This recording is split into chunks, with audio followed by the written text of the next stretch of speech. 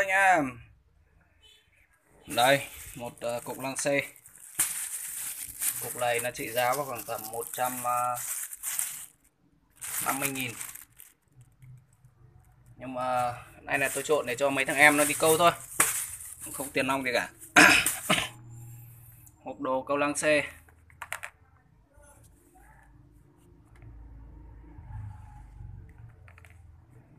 Đấy, hộp đồ lăng xê này đựng được ờ, 12 chiếc lăng xê. À, hộp này là tôi không bán nha anh em. Ờ, cái này là tôi chế thôi. Tôi chế tôi làm của tôi. Để đi câu thôi.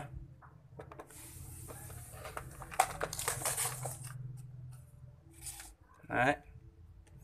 Đây là bên này tôi chưa cho lăng xê nên chỗ này nó vẫn gần trống thì tôi cho xốp vào đây. Đấy, lăng xe để đây tất cả mỗi cái một chỗ nó không bị à, rối và lẫn vào nhau. Đấy.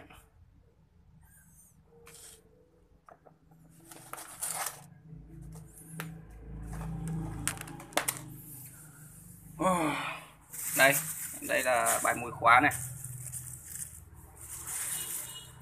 Chắc chắn là trong cái dịp tết này sẽ có uh, ít nhất là năm anh em có cái bài mồi này. Hứa danh dự. Dự tính ờ, là đấy hôm trước tôi cũng có nói dự tính là 10 người rồi. Đấy, cái đơn đặt hàng cái đơn ờ, tôi đang làm dở anh em này.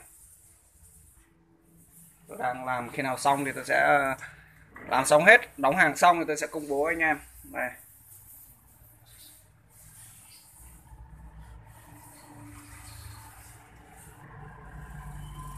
Hiện tại tôi mới làm được ờ, một nửa thôi. Chưa được một nửa đâu.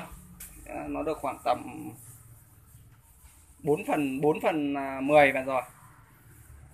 Đấy, khi nào xong thì tôi sẽ đóng hàng ở đây đây đúng 10 cái kiện hàng.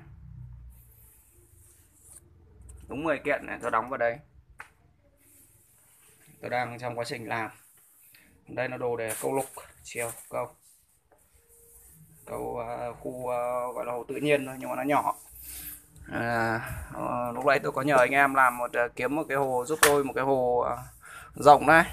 Hôm nay là anh em đi picnic nọ kia. Cảm ơn anh em. Ok.